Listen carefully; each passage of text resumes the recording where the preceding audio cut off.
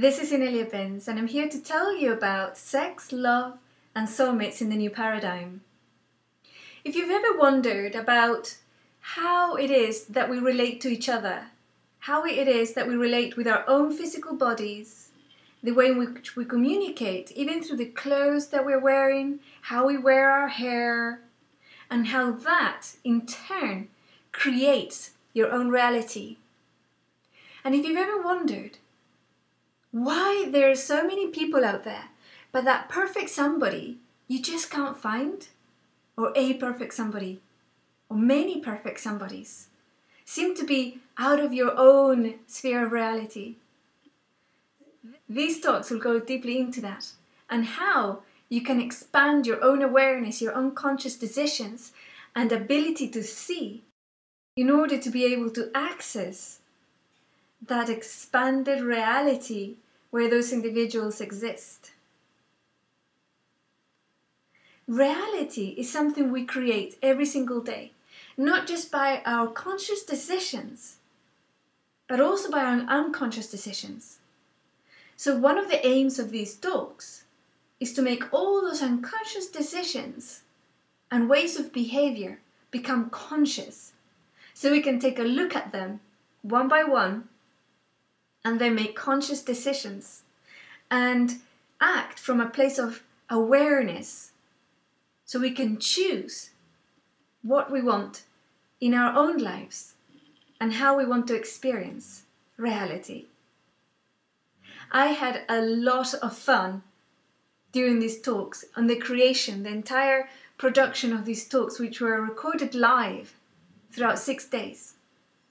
And I'm sure you're going to enjoy them too. In this course, there are six different calls.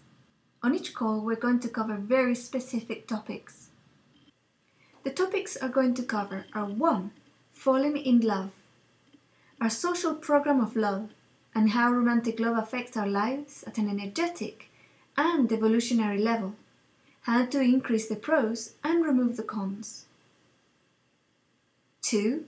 The separation, understanding concept and construct of other in relation to love, having a physical experience in the old paradigm versus the new paradigm, the main differences and what defines a physical experience.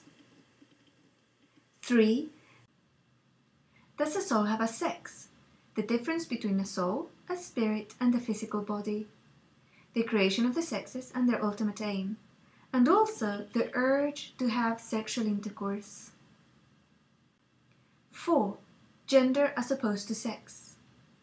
We're going to be looking at the construction of gender at different levels, as well as sexual orientation heterosexuality, homosexuality, bisexuality, and asexuality, and how these are related to our gender and to our physical, spiritual, or soul sex constructs.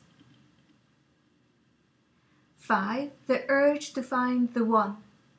Here we're going to be talking about twin souls, twin flames, manifesting the right partner and identifying what right is for our own lives. 6. Dropping the dream. And how difficult this can be. The catch 22 to manifesting your perfect relationship.